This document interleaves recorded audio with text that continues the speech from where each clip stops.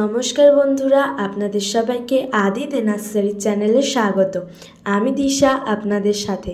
তো আজকে আমি কিছু জবা গাছের কালেকশন দেখাবো, আর তার সাথে সাথে কীভাবে তোমরা তোমাদের বাড়ির জবা গাছকে খুব অল্প পরিচর্যার মাধ্যমে সুন্দর করে তুলতে পারো, তার কিছু উপায় বলব। তো বেশি দেরি না করে চলো ভিডিওটা শুরু করে দিই। যদি ভিডিওটা ভালো লাগে, তাহলে অবশ্যই লাইক কমেন্ট চ্যানেলটাকে সাবস্ক্রাইব করে দিও। পুরো ভিডিওটা দেখো, কারণ হয়তো তোমার পছন্দের কিছু জবা গাছের নতুন নতুন কালেকশান থাকল আর তুমি সেগুলোকে মিস করে গেলে। তো তাই জন্যই বলছি ভিডিওটা পুরো দেখো, জবা গাছের প্রচুর নতুন নতুন কালেকশন এসেছে। প্রথমেই তোমাদেরকে যে দুটো জবা গাছ দেখাবো, দুটো ফুলই কিন্তু একদম নতুন অর্থ এবং আমার ভীষণই পছন্দের। তো তাই ভাবলাম সবার প্রথমে তোমাদেরকে দেখাই, তোমাদেরও আশা করি পছন্দ হবে।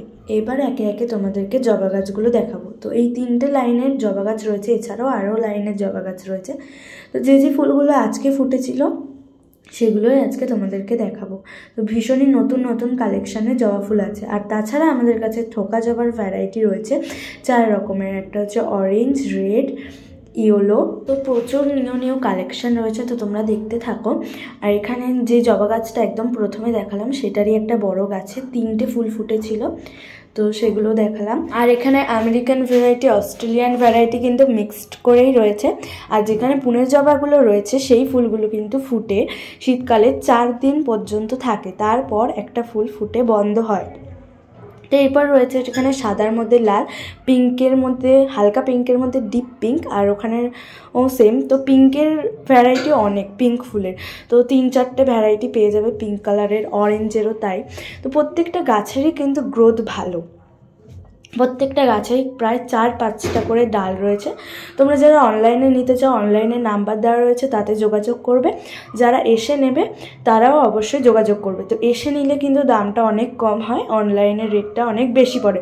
তো সেক্ষেত্রে আমার মনে হয়, তাছাড়াও তোমরা এসে দেখে কিনে নিতে পারো। আর তাছাড়া যারা অনেক দূরে থাকো, যাদের পক্ষে আসা সম্ভব নয়, তারা অবশ্য অনলাইনে নিতে পারো। আমরা সঠিক গাছটাই দিই।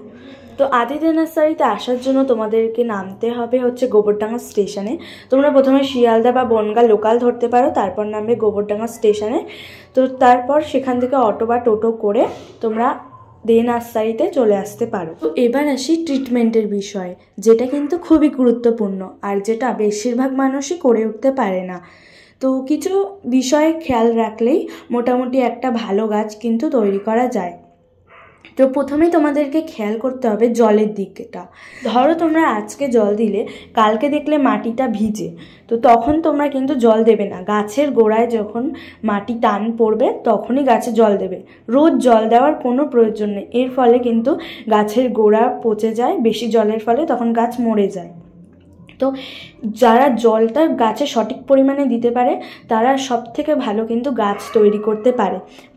প্রায় বেশিরভাগ মানুষই গাছের গোড়ায় জল বেশি দেয়, ফলে গাছ কিন্তু মরে যায়। এরপর আসি গাছের মাটি তৈরি। তো মাটি তৈরিটাও একটা গুরুত্বপূর্ণ ভূমিকাই পালন করে। তো গাছের যদি মাটি ভালো না হয়, তাহলে কিন্তু গাছও ভালো হবে না। তো তার জন্য তোমাদেরকে মাটি তৈরির জন্য শিংকুচি, ভার্মিকম্পোস্ট আর সুপার ফসফেট দিয়ে মাটিটাকে খুব ভালো করে তৈরি করে নিতে হবে। মাটি তৈরির জন্য তোমাদেরকে যে মাটিটা নিতে হবে, সেটা হচ্ছে এঁটেল মাটি বা বালি দোয়াশ মাটি, যেটা নদীর ধারে পাওয়া যায়, মাটির মধ্যে বালির ভাগ থাকে, তো সেরকম মাটি নিতে হবে। এরপর নিতে হবে হচ্ছে কোকোপিট কিংবা কোকোপিট যদি না থাকে, তাহলে তোমরা এর বদলে নিতে পারো। ধানের যে তুষটা হয়, তো সেই ধানের তুষ বা ধানের চিটে সেটাকে তোমরা ইউজ করতে পারো। এরপর লাগবে হচ্ছে ভার্মি কম্পোস্ট তো ভার্মি কম্পোস্ট যদি না থাকে, তাহলে তোমরা প্রায় এক বছরের গোবর সার যেটা হয় পচানো, তো সেটাও তোমরা মাটির সাথে ইউজ করতে পারো। তো এগুলো মাটির সাথে খুব ভালো করে মেশানোর পর তোমাদেরকে একদিন রোদে শুকিয়ে নিতে হবে। কারণ মাটিতে কিন্তু প্রচুর পরিমাণে জার্ম থাকে, তো সেগুলো রোদ্দুর এর কারণে মরে যায়। তো তাছাড়া সার মেশানোর আগেও তোমরা মাটিটাকে শুকিয়ে নিতে পারো। আর মাটিটা কিন্তু ডেলা ডেলা মাটি হলে হবে না। মাটিটাকে একদম মিক্সড করে গুঁড়ো করে নেবে, তাহলে কিন্তু খুব ভালো হয়। যারা টবে করবে তাদের ক্ষেত্রে। আর তাছাড়া যারা মাটি মাটিতে গর্ত করে যদি গাছ করতে চাও, তাহলে সেমভাবে গর্তটাকে মাটি দিয়ে ভরাট করে তারপরে সেম পদ্ধতিতে তোমরা গাছটাকে বসাতে পারো। তো এরপর আসি জবা গাছের পোকামাকড়ের বিষয়। তো যে দুটো পোকা সাধারণত বেশি দেখা যায়, সেটা হচ্ছে জাপ পোকা বা লেদা পোকা। এই পোকাগুলো যারা দেখতে পাবে, তারা হচ্ছে কিং ডক্সা নামে একটা ওষুধ পাওয়া যায়। সেটা স্প্রে করতে পারো এক লিটার জলে ওয়ান পয়েন্ট ফাইভ এমএল তো এর কিছুদিন পর তোমরা ভিটামিন স্প্রে করতে পারো, সেটা হচ্ছে অ্যাম্বিশন তো তাছাড়া তোমাদের জবা গাছে যদি কোনো পোকামাকড় লেগে থাকে, ধরো কিছু পোকা তোমরা বুঝতে পারছ না এটা কি পোকা, তো তার জন্য আমি একটা ভিডিও বানিয়েছি, তো ডেসক্রিপশন বক্সে আমি লিঙ্ক দিয়ে দেবো, চাইলে তোমরা সেখান থেকে দেখে নিতে পারো। তো প্রত্যেকটা জবা গাছেরই সমাধান, প্রত্যেকটা পোকা যে ছয় সাত রকমের পোকা হয়, প্রত্যেকটা পোকার সমাধান বলে দেওয়া হয়েছে। এরপর তোমরা যেটা গাছে দিতে পারো, সেটা হচ্ছে খোল জল। তো খোল জল কিন্তু গাছের জন্য খুবই উপকারী। প্রায় প্রত্যেকটা গাছেই দেওয়া যায়, কিছু কিছু গাছে দেওয়া যায় না। তো খোল জল তোমরা প্রত্যেকটা গাছেই প্রায় এক দেড় মাস অন্তর অন্তর ব্যবহার করতে পারো। এতে কিন্তু গাছের চেহারাও অনেক ভালো হয়। তো যারা খোল জল তৈরি করতে পারো তো পারো। আর যারা পারো না, তাদের জন্য আমি একদিন একটা ভিডিও করব। তাহলে তোমরা বুঝতে পারবে যে কীভাবে একটা খোল জল তৈরি করা হয়। আর যদি গাছের পাতা হলুদ হয়ে পড়ে যায়, তো সেক্ষেত্রে তোমরা হচ্ছে এক লিটার জলে ইনফিনিটো স্প্রে করতে পারো। ওটা এক লিটার জলে আড়াই এম স্প্রে করতে পারো। বেশ ভালো উপকার পাওয়া যায়। তো আজকের ভিডিওটা এই পর্যন্তই। যদি ভিডিওটা ভালো লাগে, তাহলে অবশ্যই লাইক কমেন্ট আর চ্যানেলটাকে অবশ্যই সাবস্ক্রাইব করে দিও। আর জবা ফুলের কালেকশান তো তোমরা দেখলেই ট্রিটমেন্টের সাথে সাথে।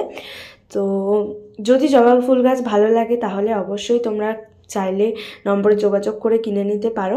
আর তাছাড়া যদি গাছের কোনো সমস্যা থাকে, তাহলেও আমরা বলে দেব, তোমরা হোয়াটসঅ্যাপ করে নিতে পারো। তো দেখা হচ্ছে পরের ভিডিওতে, ততক্ষণ ভালো থেকো, সুস্থ থেকো।